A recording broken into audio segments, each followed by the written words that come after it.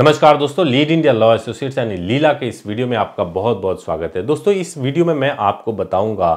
एक एक बहुत ही सीरियस बात मैं आपको बताऊँगा और लड़कों के बारे में है और कई बार मैंने यह देखा है और अपने आँखों के सामने देखा है कि ठुकरा के मेरा प्यार जो तुम जाओगी और उसके बाद से जो वो स्टेप लेते हैं, वो क्या क्या स्टेप होते हैं और उन, उसके बाद से उन्हें किस प्रकार के मुसीबतों का सामना करना पड़ता है। मैं आपको इस वीडियो में बताऊँगा। दोस्तों, देखिए, सबसे पहली बात तो यह है कि मैंने अनेक वीडियोस के अंदर भी और वैसे भी पर्सनल मीटिंग के अंदर यह बताया है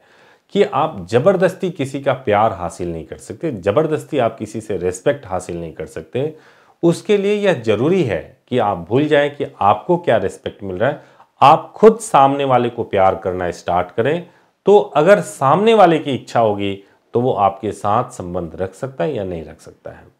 यह भी कोई आधार नहीं है कि आपके अगर तीन साल तक बहुत ही खूबसूरत रिश्ते रखे और तीसरे साल में जाकर किसी भी प्रकार का आप दोनों में विवाद हो गया और पार्टनर में से किसी ने एक दूसरे को छोड़ दिया तो आप उसके उन खूबसूरत पलों के फोटोग्राफ्स, वीडियोस ऑडियोज या चैटिंग को आप सोशल मीडिया पर लीक करें और अगर आप इस तरीके से कोई भी स्टेप लेते हैं और आप ऐसा सोचते हैं कि तुम मेरा प्यार ठुकरा करके चली गई हो तो मैं तुम्हारे खिलाफ मैं प्रतिशोध लूँगा और कोई भी गलत स्टेप लूँगा। तो आपके लिए यह बहुत ही गलत होगा और कानून आपको बहुत बुरी तरह से दंडित कर सकता है।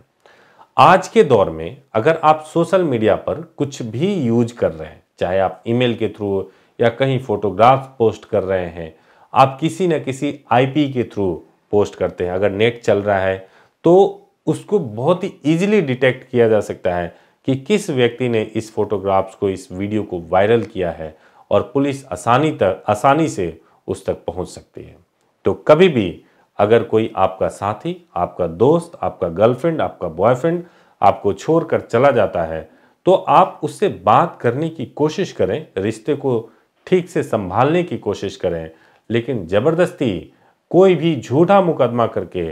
झूठा डर दिखा करके या कोई गलत स्टेप लेकर के आप उसे दोबारा वापस पाने की हरगिज कोशिश ना करें। मैं ये समझता हूँ आप तकलीफ़ में होंगे, दर्द में होंगे, आपको उससे निकलने में दिक्कत हो रही होगी, लेकिन आपके लिए यही है कि आप थोड़ा समय बिताएँ और आप गलत स्टेप लेने से अपने आप को खुद को रोके रखें तो निश्चित रूप से अपने आप को आप बचा लेंगे। एक बात तो यह हो गई दूसरी इंपॉर्टेंट बात यह है कि कई लोग ऐसा सोचते हैं कि किसी तरीके से कई बहाने बना करके, झूठे झूठे वादे करके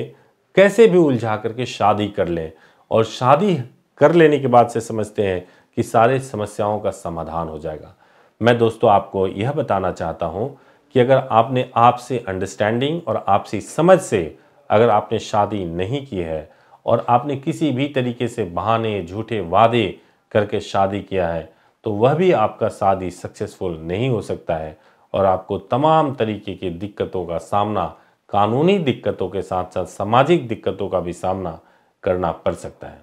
तो दोस्तों, अगर आप यह चाहते हैं कि आप कानूनी और सामाजिक किसी भी प्रकार के दिक्कत से दूर रहें तो जब आपका बेहतर सामंजस्य हो, आप दोनों सक्षम हो, अपने पैरों पे खड़े हों, तभी आप विवाह का निर्णय करें। साथ ही साथ आप यह भी ध्यान में रखें कि ज़बरदस्ती आप किसी के प्यार को नहीं हासिल कर सकते तो कोई भी फिल्मी स्टेप ना लें जो आपको मुसीबत में डाल दे। वीडियो अच्छा लगे तो इसको ज़रूर लाइक, शेयर, सब्सक्राइब कीजिएगा। बहुत बहुत धन्यवाद।